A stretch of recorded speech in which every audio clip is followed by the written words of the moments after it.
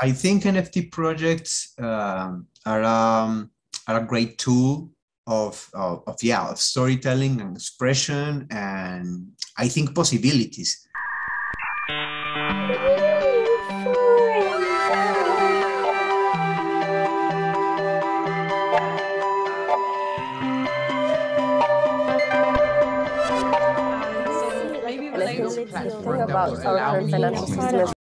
Hi everyone, it's Joy and Salimi yet once again on another episode of New Forum, and we're always excited and honored to bring you inspiring guests on our podcast. And on today's episode, we have Domingo, a graphic DJ at Veleta Studio Lab. He creates, builds, and designs opportunities in the Web3 space, art direction, and branding for DAOs and companies such as The Fabricant, Jump, Radar, Plant Gang, Twoplus, Coinvise, CoinDesk, creating the future. And as always, we're powered by Newcoin Foundation, focused on fostering the expansion of decentralized social applications, also known as Social 3.0, by forming an ecosystem and a community of visionaries, creators, and investors to spark conversations on the topics of crypto, the metaverse, NFT, and everything Web3. And on this episode, we'll be chatting with Domingo about experimental aesthetics, the importance of community building in Web3, why DAOs matter and how they impact NFTs, and if the digital transformation of the fashion industry has a future. And finally, we're going to touch on a very important subject, mental fitness and what it means in the Web3 culture. Hey, Domingo, thanks for joining us again.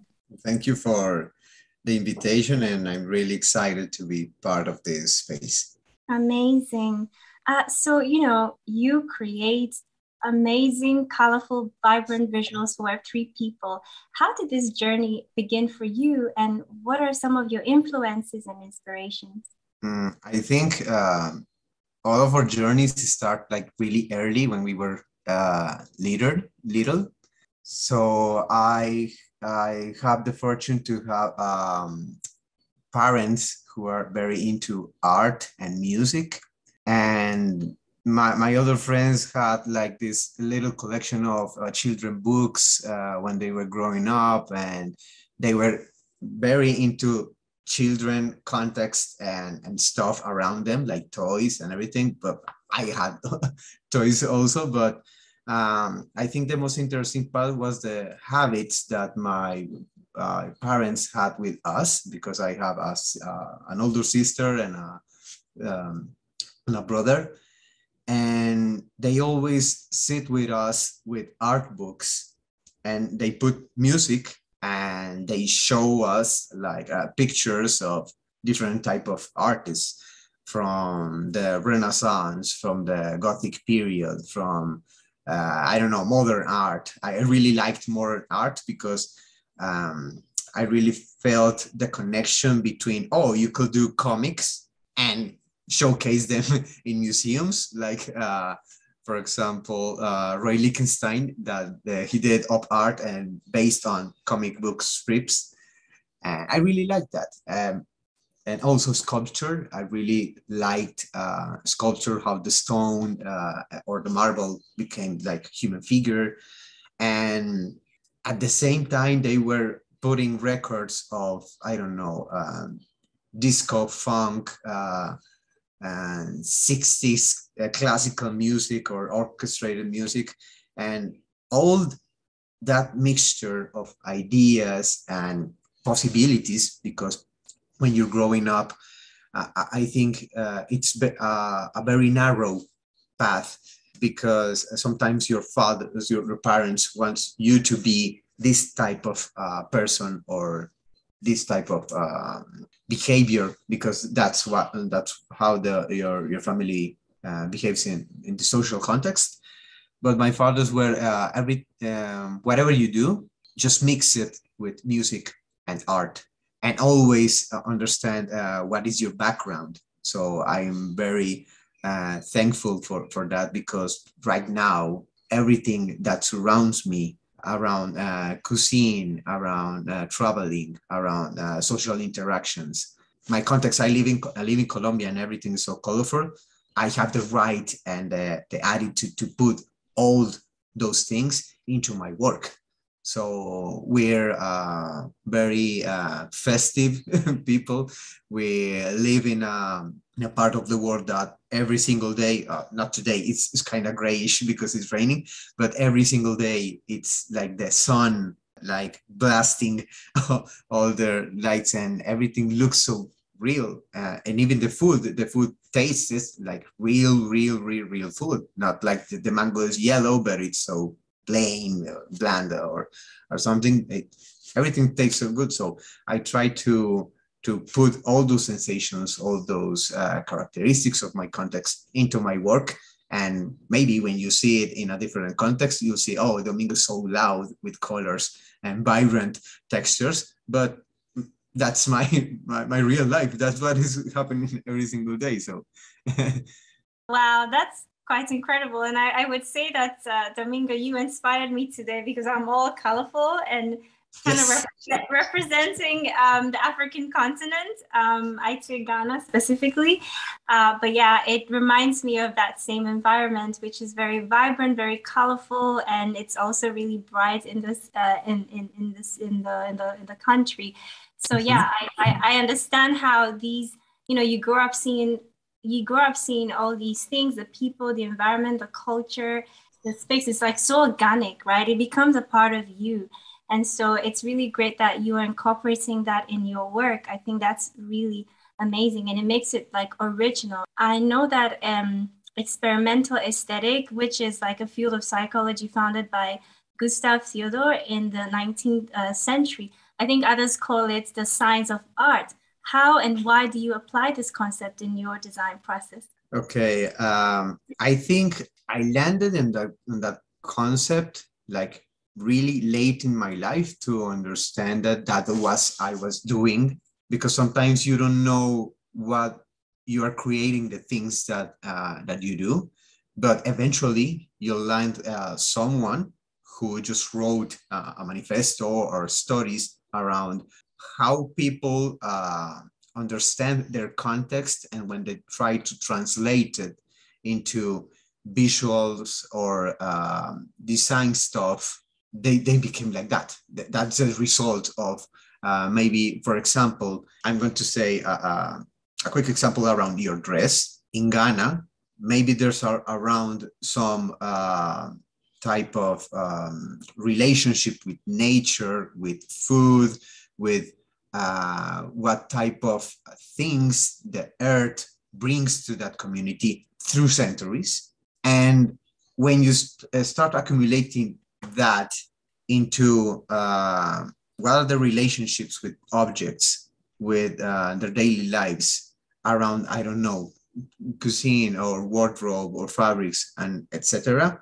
100 years in the future, that would be like, oh, this is the thing that we used to do. So that maybe is part of the, our identity. So let's embrace it and let's call it that's us okay yes that's our representation because that's a mixture of a lot of stuff that maybe we don't know for sure what is the real meaning behind it but uh, it's the accumulation of a lot of generations through thinking about how we look and why we look like that so for me the case was around um, especially why i like to do things organically. Why for example my uh, typography approach tends to be very not so typographic perfect because you know typography is like you need to be uh, very legible very understandable for people but not in my case because i like to be like to express a lot around those shapes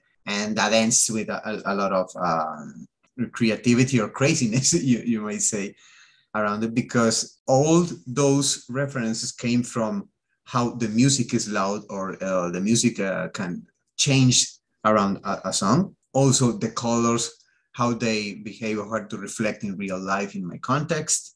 And also uh, a lot of culture or niche that have been part around my uh, my life, such as I don't know, I like um, anime or I like comics or I like uh, skateboard culture or I like graffiti, and put all those elements into i don't know a stew and let it and let it cook for for a, for a couple of times and, the result is like a mixture of, of a lot of uh, thoughts and ideas around what is real life or what is um, what is our aesthetics should look like. And that's why my uh, my approach is experimental because i try to mix a lot of niche thoughts and cultures together to land into a different type of expression around each artwork or each design, knowing that uh, maybe sometimes uh, design should be like very global, very standard for the understanding of the people.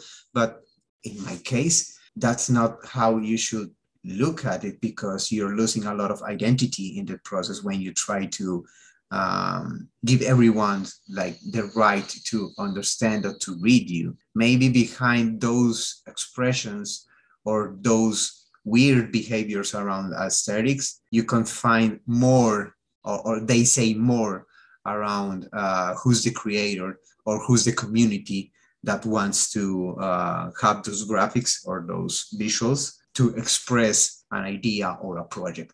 You said it right like there, there's like a building of niche communities i would say around certain topics and people find themselves in these niches and i'm wondering how do you perceive then the web3 community or the web3 space? Like what is your uh, initial thought on it and why do you think uh, web3 community building is important right now like building the web3 culture?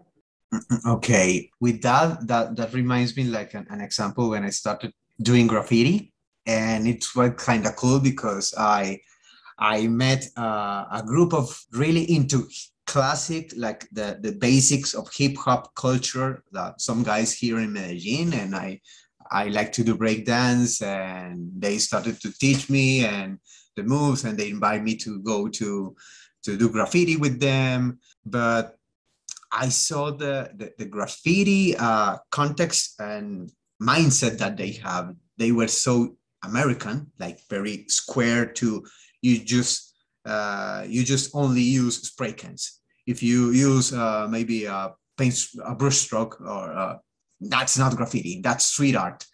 And I was like, but we are painting, we are doing paints on the streets, on walls, and, and they know well, the pure form of graffiti should be done with spray cans. And, um, okay, okay, right, right. And when you understand that a lot of niche communities have this mindset of closeness because they thought that that's the way they should be and set the, the, the basic standards for other people in the future to start building on top of, uh, of your projects and ideas, they miss the, the, the really fun part of being uh, flexible and organic within the context or the technology right now with, with Web3 so for me, it's important to start building with them, showing that, hey, we could have another uh, branch to start talking with other type of projects or, or bringing other type of ideas or realities into this because it's the opportunity to start building something that is not closed like what happened before. Uh, and we've been living uh, like in a in a simulation if you could, can call that of Web 2 that just a bunch of people determines what it's the internet today. And it's really difficult to, to build build different kind of uh, approaches into that because you're used to that internet nowadays is like social media and video streaming and maybe gaming and that's it and that's it because those guys uh, decided to that's the internet and that's how we are going to um, show the people how to behave how to navigate it and how to produce content for it because it's, it's a closed environment.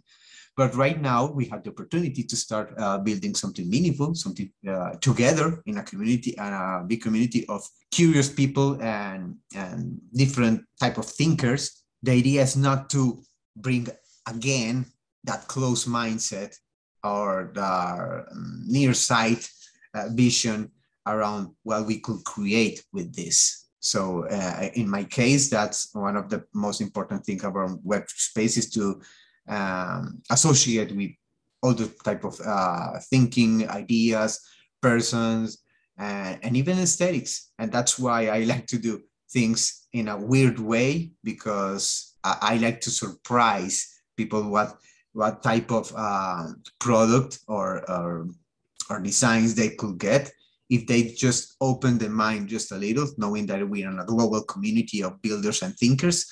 And now is the, the time to, I don't know, make mistakes, being crazy, being loud, being different. Um, thinking about community building, would you agree that NFT projects are the perfect intersection between storytelling and community building? Like, what do you think about these NFT projects? I think NFT projects um, are um, are a great tool of, of, of yeah of storytelling and expression and I think possibilities. Think as an NFT. I, I was discussing this yesterday with, with a friend, like explaining him NFT world because he was really curious about, oh, you work, we work with blockchain project. Uh, how is that? Uh, I know everything went to to zero, and I'm I'm worried about you. And I just said, no, don't don't worry i'm fine i'm doing fine so don't worry for me nfts is like a key to a story with a lot of chapters and in those chapters there could be just one writer or one creator and in other chapters there could be like 700 creators thinking around what what we are going to open with this key so nfts open the the, the chance to create projects or startups or companies or brands without like a strict narrative of where are we going to go in the future around that project. For example, if I start fashion brand. And if I release it as an NFT, maybe in five years, I could be like a, a car manufacturer just because thanks to those NFTs and thanks to the community who support me, supported me through those NFTs, they have the right, the vote, and the voice around, okay, uh, your brand looks good, but maybe we should put those graphics or put those uh, ideas around garments into bicycles because we can because that's the possibilities around an nft project like that the freedom of of giving um, people vote and proposals. And i think that's the most beautiful part of this is that you could see the organic growing and, the, and that expansion around an idea. Because like in the old days if you found like a fashion brand i don't know why you should like put this uh, this mindset of closeness that in 20 years from the uh, from now to the future we still going to be a fashion brand. Why you should well with your project with your with your heart with your soul you need to be like so close around where you could do it. And maybe with the nfts there's a possibility because you're bringing a lot of people into your project a lot of opinions a lot of ideas context everything. And that should be fun around uh, creation of uh, ideas and projects we we know what what a dao is but just for the community members who might not know or the listeners who might not know if you could describe what a dao is and why do you think maybe DAOs matter and how does it benefit or impact NFTs? Okay, so I, I always like to start explaining a DAO uh, based on a meme uh, I saw once. That is this uh, anime meme that someone is showing like a butterfly, and is he's asking like, is this something like really ironic? So is this meme, and the caption is like, um, the butterfly is like a Discord, a Discord group. And the question is like, is this a DAO? Because like in, Discord, everything revolves around Web3 and everything. So when I ask them, oh, I'm part of a DAO. Oh, you mean a Discord group? No, no, that's not, that's not the case. A, a DAO is not a Discord group. Yeah, full of people talking like 24 seven discussing things around uh, whatever they want, but that's not the case. I think DAOs is the, the proper way to build a project because everyone has like the same interest around creating successful project, listening to the or, or, at least hearing the ideas and thoughts of the people that have the majority of both inside them.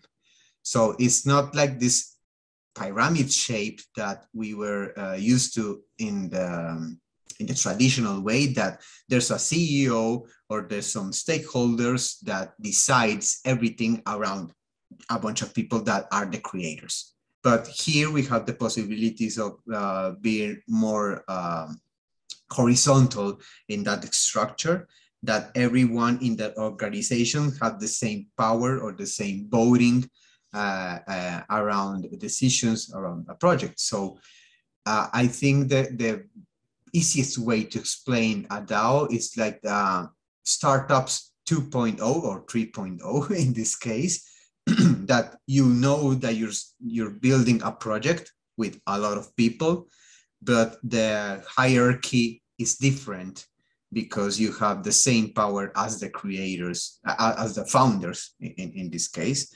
And you're just looking to build something more meaningful and not just be so just an employee or, or just um, a freelancer for a project because you're part of the project. If you leave the project, maybe that DAO wouldn't function as well as the, the, the ideas you're giving. And I think also DAOs gives you the freedom of creating companies in not such um, a strict or square way, just like we did before. Like uh, we had a CEO or we have a commercial representatives and we have the, the employees or that. Uh, a DAO could be like three people, a group of three people just discussing things around, I don't know, uh, biology. Or that same group could be like a thousand people discussing things around biology, but everyone has the same uh, right to vote and, and decision. And that's really interesting to be part of um, this type of projects right now because it opens your mind around your, your profession and the way you, you relate with your clients and with your um, future prospects. Because when you understand like that mindset of working in a DAO, you start thinking like, oh, I really like that because I can open to the whole project and not just one person that represents it really interesting. I, am wondering, are you part of any DAOs right now? Let me open like my Discord to remember because there's a lot. of... Ah, so you're like part of a lot of DAOs. That's crazy. Yeah, it's it, it's it's fun. I really like DAOs. So I'm part of Jump. Jump is into marketing and and advertising, and I really love Jump because there's a lot of people in there that brings value from a Web 2 or Web 1 um, communities or environment because they are marketing people, they are um, managing social media relationships and communications, and they they enter Jump because they are looking for a different way of doing their work, but more into communities, into into into needs and it's really exciting. So I'm part of Jump. I'm part of Protein that is similar to, to Jump in this way that they work in the intersection of advertising and design and stuff. I'm also part of Radar. I'm also part of Plantgang, uh, 2 Plus, um, the Fabricant DAO, uh, Digitalax, um, let me check another DAO. Oh, uh, Alana, the Web3 Girl um, project that uh, is a project run by Stella Achenbach. She's a fashion designer. Uh, I'm part of Alter Rage. Alter Rage. Uh, I always thought that Alter Rage sounds better. and also uh, of a project called Creative Friends that it's made by um, Orlando Pedro, who's, who's, a friend. He's in, in Amsterdam, and um, Herman Gonzalez, he's a, a, Colombian illustrator, and I'm part also of that project. And maybe I also forgot to mention one or two, and I apologize. but uh, my my my day started like trying to catch up in all the, those conversations, uh, trying to see, oh, I almost forgot to mention friends with benefits. Sorry, friends. but there's a lot of things to do in, a creative way, in a more flexible uh, way. So that's why I'm part of a, a lot of DAOs because I, I know that I could bring value to them. And uh, that, that value could be colorful graphics or weird aesthetics, or at least being part of that conversation. So when you have the opportunity for free, I, I think that's the, the important part to, to understand. You could join a DAO for free and to start sharing with people around the world that are looking at the same uh, direction like you, the same interests, and they try to build something interesting in this space for free. And why you why you want to lose that opportunity now? Because we don't know for sure what happens like uh, five years from now.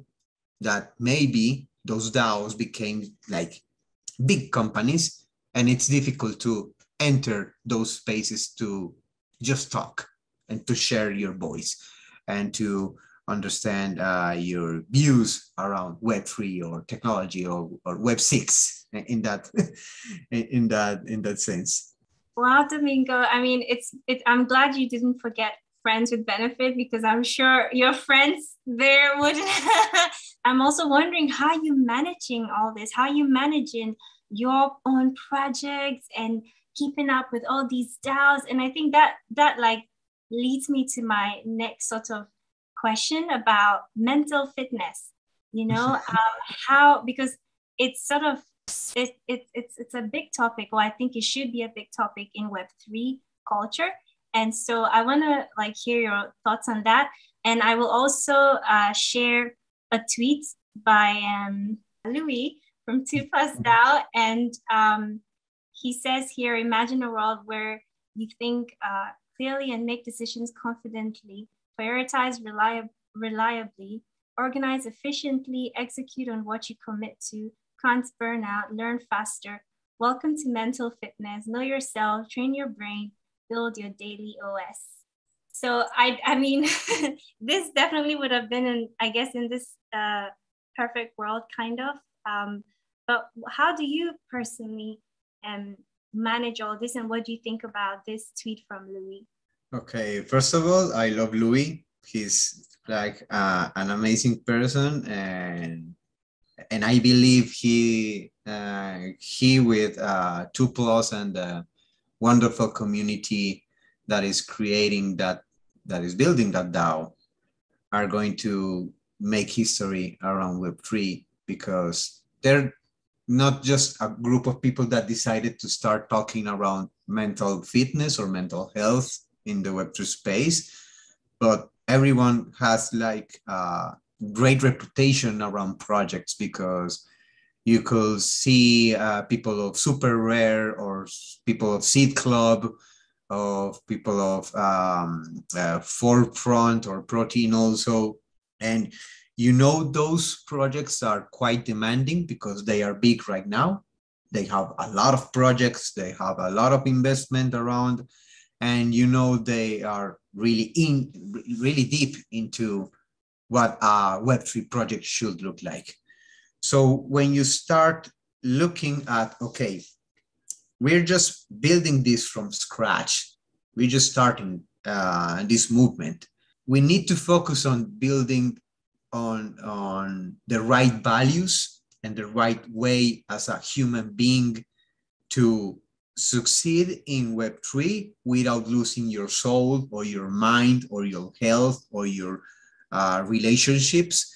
Because sometimes when you approach for example blockchain or, or bitcoin or ethereum there's a lot of uh, i don't know hosting hustling culture and you need to be there like 24 7 is trading and there's a lot of stress involved and that shouldn't be the case and i think one of the most important parts in my in my opinion around this uh, tweet is the part of can't burn out and know yourself.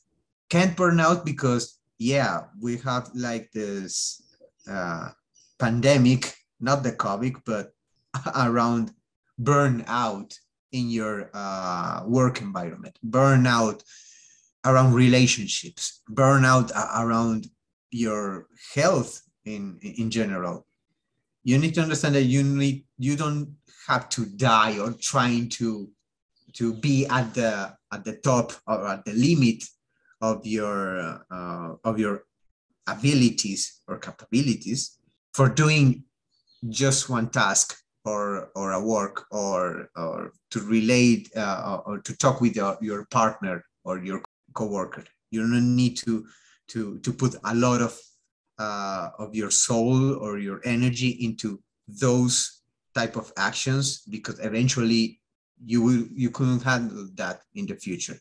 And know yourself for, for me it's i think one of the most important uh, part of of, of this uh, of this suite because when you really know yourself you know what type of decisions or what type of projects or what type of stuff you of stuff you want to be involved with and what that uh, involvement or that participation or that decision would you need to have to really work and to be uh, happy with it? For example i know that i'm part of a lot of daos and i'm doing a lot of uh, things for them but i also i also know that i need to eat well i need to rest well i need to sleep well i need to go to the gym uh, or to go to run with my pets because training myself like into be a healthy person i know that i could handle all this kind of uh, work and stress quote unquote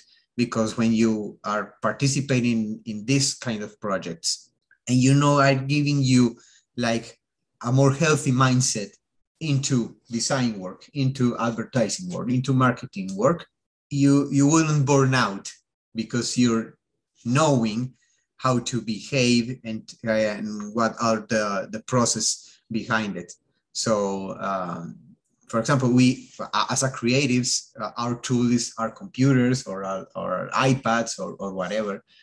Uh, and we are sit like eight to seven hours a day, just sitting in a chair, just working. And I really like to think you need to train to your body to be strong enough to support your weight into that chair and and and in the end of the uh, of your work hours you still have energy to do things.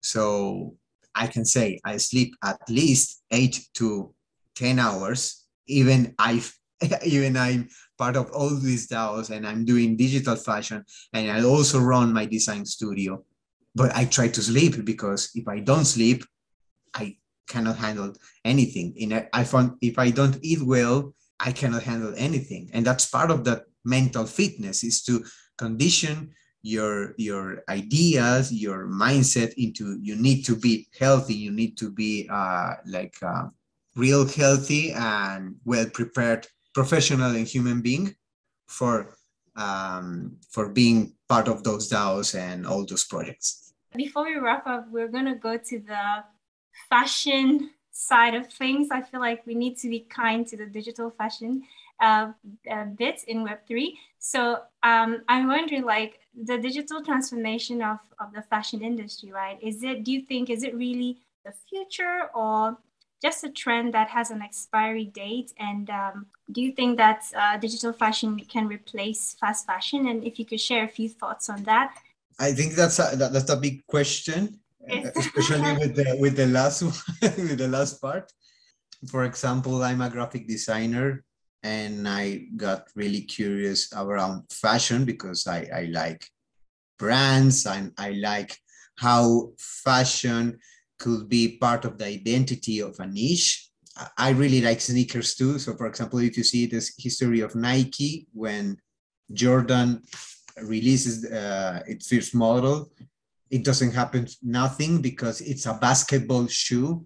But when hip hop culture embrace it as one of the of their beacons around culture, that when the, the, the story around fashion or sneakers became really interesting. Or for example, when Rolex uh, releases some of their watches and that's it. They just gives you the hour and it's uh, some prestige or status around it. But when Paul Newman uh, makes that movie in the, I think it's 70s, and he's wearing one of those watches, that's when the, the, the, the interesting part of the culture around an object starts. And that's why i really like to jump into fashion but you know fashion is complicated because if you don't study it if you don't uh, if you don't have connections inside the fashion world you always feel like an outsider. You're just a consumer. Yeah because you're not part of this metaverse like this proto metaverse that is the fashion world that i, feel like you're uh, they are closed doors. They are just like this uh, huge, huge castle that you cannot enter if you're not part of this community. And with digital fashion, the keys are free. They are open doors. And I, I think that's uh, one of the reasons I decided to enter because I felt as a part of an active community of people that are collectors that are, are really into uh, the likes of uh, what the fashion industry of the cultural part of fashion industry offers you.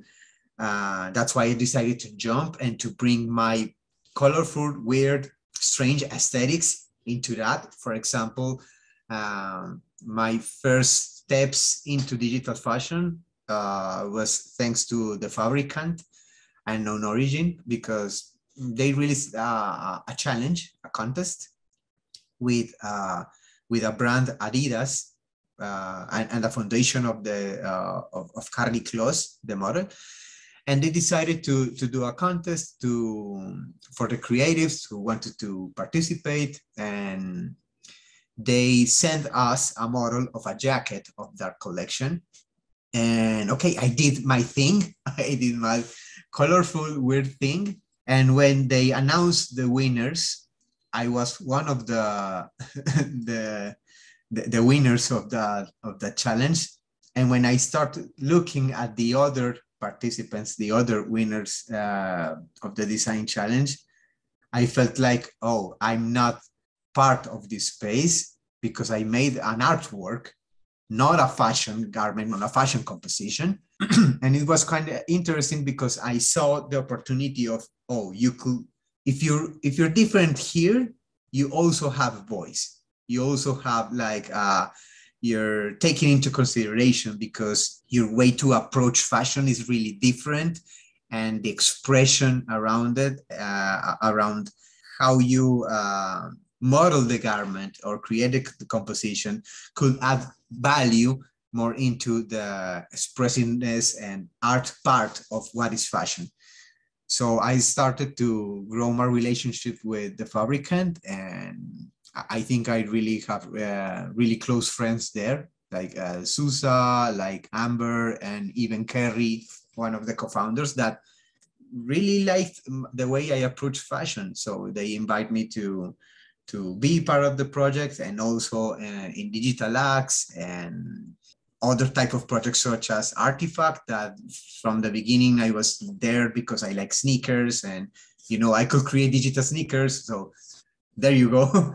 Uh, you can start uh, creating with them and they also were really nice with my my way to approach aesthetics and and i think that was uh, my first step into digital fashion right now i'm uh, i have like this lot of friends in daos of digital fashion that I want to um, add value to through uh, graphic design for their brands or for their projects because that's one of the uh, I think weakest parts around fashion is when you are very into into creating garments in real life or digital or, or, or really artisanal you're missing the part of brand and sometimes brands are the value that a lot of people perceive around fashion.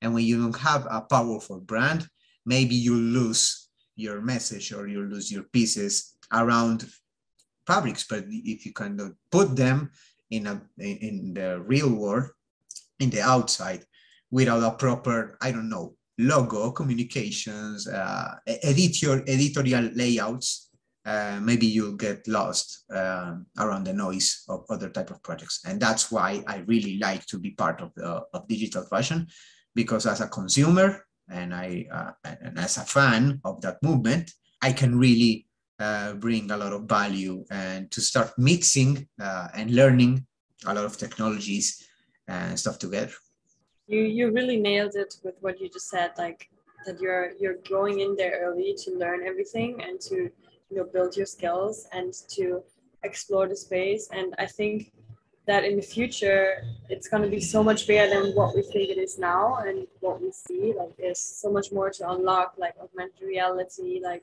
with vr every and everything. And i think brands will also be more and more adaptive. I mean they already are very um, broadening their horizons into digital yeah. fashion but but still like the mass adoption is not there but you know once it is so everybody will not think it away i think. So it's just yeah. like an it's just like another way of expressing fashion. Like it's not the same. You cannot compare it to like real life clothes. Like it's it's a different medium but it's an extent for me at least it's an extension. And um yeah I'm, I'm always excited to see like the designs and the ideas that people are coming up with. And i'm really happy that we are we are doing this or like that we are trying new ways of expanding our culture our you know taste and just try it out. Like yeah. it's really really valuable. And um yeah i think we had such an amazing conversation with you domingo like you're such an inspiring vibrant person and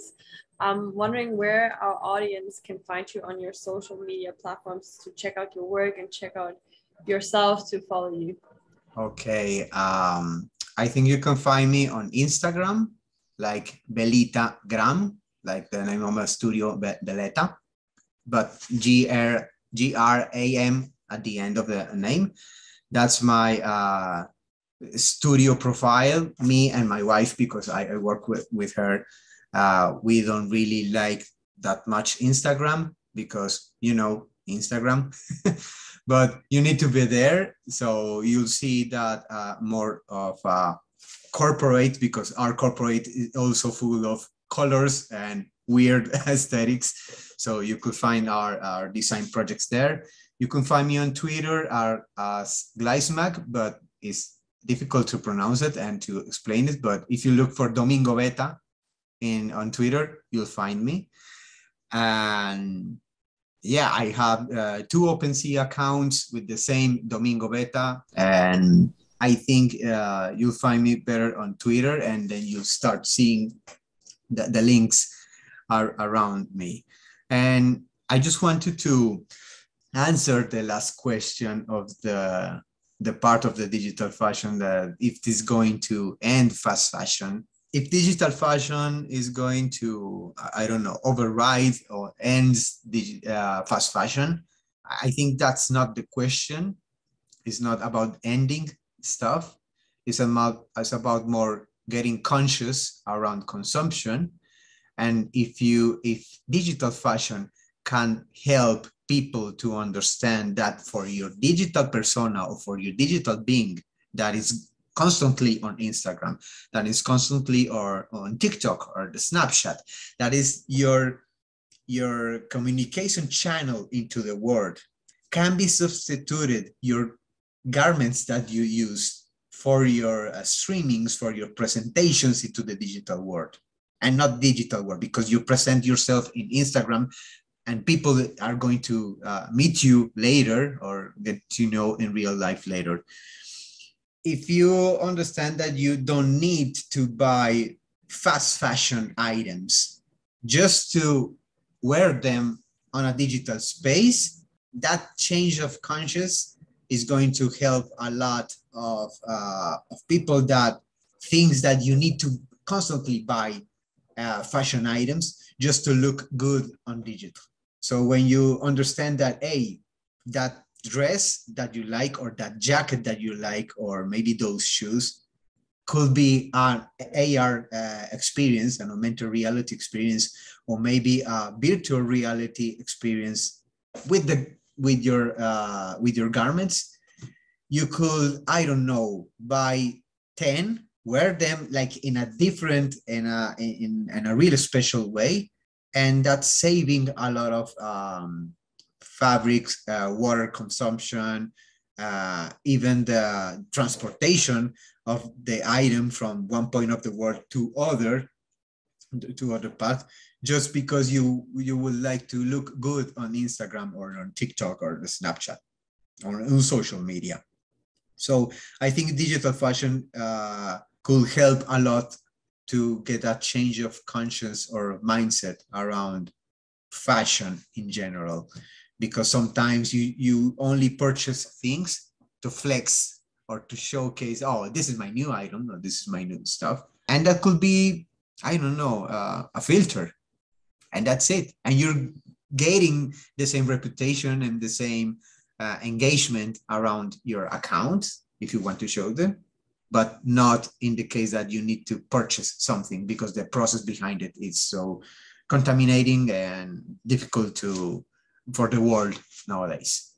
The more I think shoppers or shopper shopaholics see people, you know, in more digital clothes and it looking as realistic as possible, I think that they're probably going to be that's going to be very attractive to them, you know, as even people who are not in Web three yet. If like say I'm on my uh, social media platform and I have on a digital dress that looks really nice and I can keep changing it, and I have a friend who has no idea about Web3, they will still be attracted to that. And that might be their like onboarding sort of path, kind of how they're gonna get in the space or you know start adapting that. And I think that it will really uh, reduce or it, it could eventually potentially solve this fast fashion situation. For now, I wanna thank you so much, Domingo. Like Joyce said, you brought your vibrant um, energy, very insightful uh, very thoughtful and I would say responses to our questions.